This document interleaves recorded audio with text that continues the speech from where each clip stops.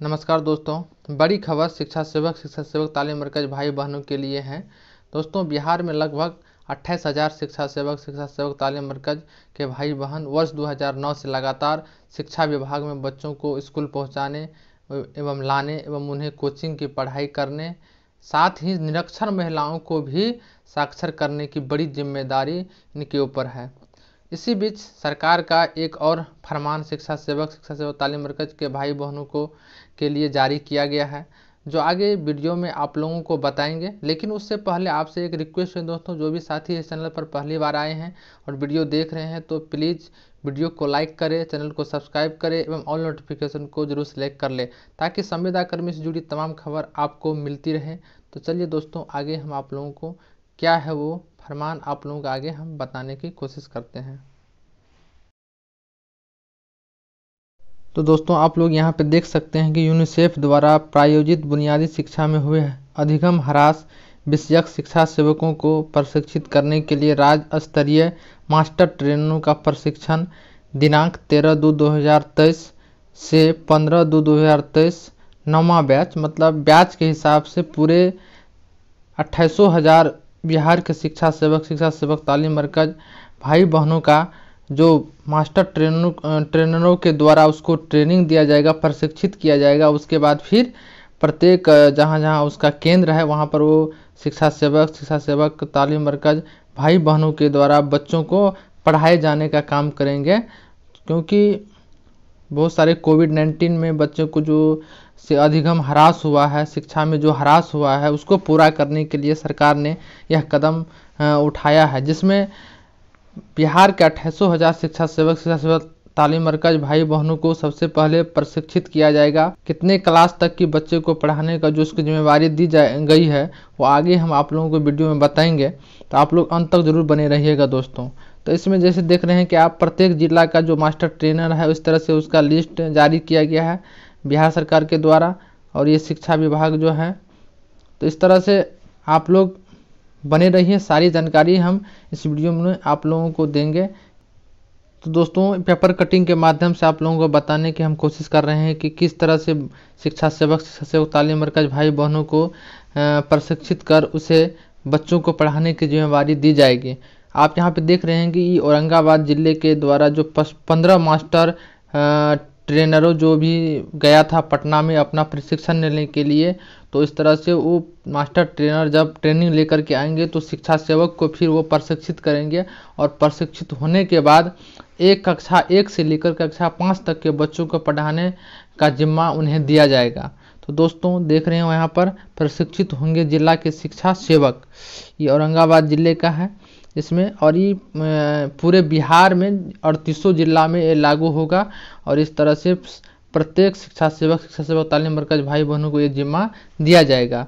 और इस तरह से जो उसे बच्चों की ज़िम्मेदारी दी जा रही है एक क्लास से लेकर के पाँच क्लास तक के बच्चों को तो आगे भविष्य के लिए एक प्रकार का, उन्हें एक प्रकार का आधार बन रहा है कि सरकार को से अपना अधिकार लेने के लिए, जैसे कि आप लोगों को मालूम होगा कि शिक्षा सेवक, शिक्षा तो तालीम मरकज भाई बहनों का मानदेय काफ़ी कम है वो काफ़ी मेहनत करते हैं, महिला को पढ़ाते हैं, बच्चों को पढ़ाते हैं, फिर भी उन्हें कम मानदेय मिलते हैं। तो एक प्रकार का इससे उसका एक आधार भी बन रहा है कि वो अपने एक क्लास से लेकर के पाँच क्लास तक के बच्चों को उन्हें पढ़ाने की जिम्मेवारी दी जा रही है और इस आधार पर उन्हें आगे आने वाले भविष्य में उनका एक आधार बन रहा है कि कि शिक्षक का दर्जा जो उनका जो पारंपरिक मांग है सरकार से, वो एक उसका आधार बन रहा है। तो दोस्तों, यहाँ पर चलो देख, चलिए देख लेते हैं, पढ़ लेते हैं कि क्या है लिखा।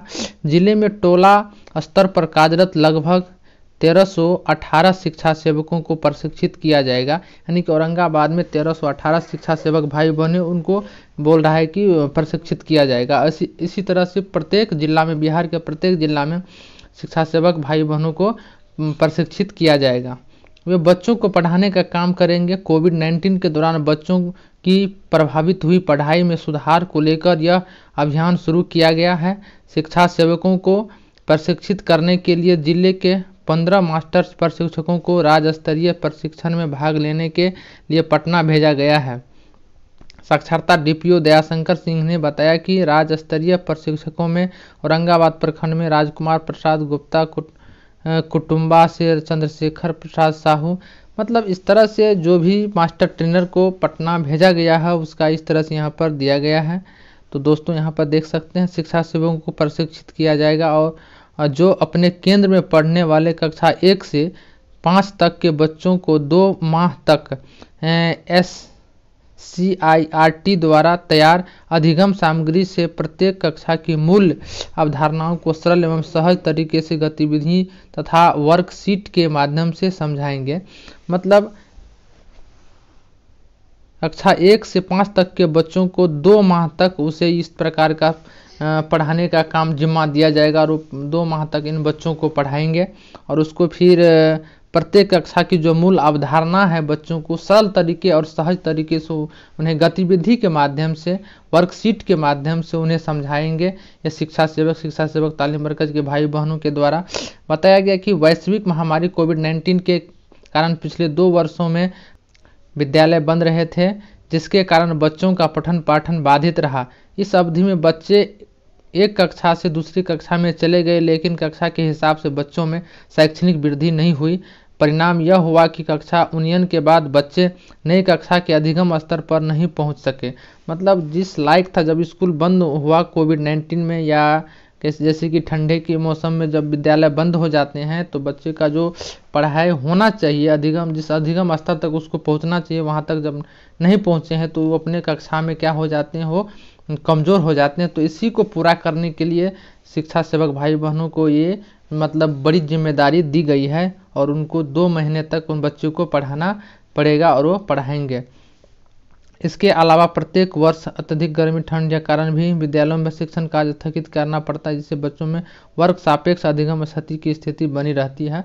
तो इसी को पूरा करने के लिए जो एक बड़ी ज़िम्मेदारी शिक्षा सेवक बिहार के अट्ठाईसों हज़ार शिक्षा सेवक तालीम मरकज भाई बहनों को दिया गया है और इस तरह से उन्हें प्रशिक्षित करेंगे। पहले जो पंद्रह, जो भी मास्टर ट्रेनर पटना में, वो जो बैच वे बैच, उनको ट्रेनिंग लेने के लिए गए हैं। जब आएँगे तो इस तरह से फिर प्रखंड स्तर पर उसका जो भी होगा, लिस्ट निकलेगा और फिर उस हिसाब से प्रत्येक बिहार के प्रत्येक ज़िले में, प्रत्येक प्रखंड में फिर शिक्षा सेवक को भी प्रशिक्षित करेंगे।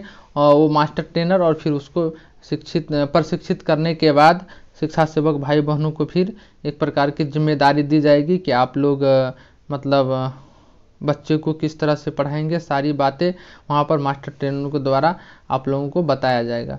तो दोस्तों, इस वीडियो में इतना ही। फिर मिलेंगे अगले वीडियो में। तब तक के लिए जय हिंद, जय भारत।